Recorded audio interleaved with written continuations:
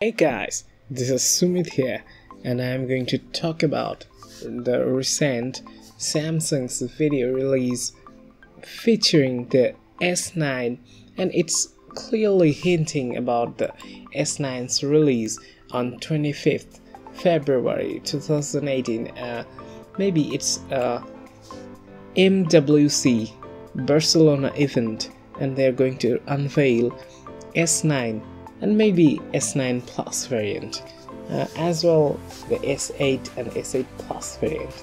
And in this video, we can see that they are teasing something super fast, super fast, like uh, something a sprinting athlete and many things a cheetah, a car, an airplane, but but at one point, you can see when a glider, a gliding man, crosses the transparent line, uh, it gets a smooth, slow motion, and uh, we can guess there's something uh, magical to be happen in this section, and maybe it's the 4K 120 FPS or 240 I we we're not sure, but it's uh, it's hinting something like this. It's giving the vibe of slow motion,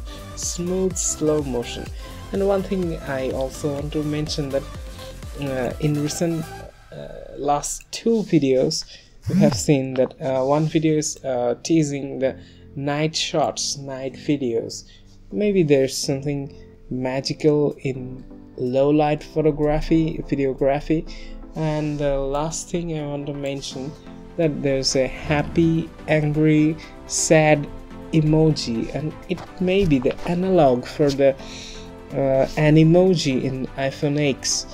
And we have never seen any analogy in android so maybe samsung is going to introduce something about the 3d Animoji that mimics the uh, user's facial expressions Mm, we don't know many thing about this.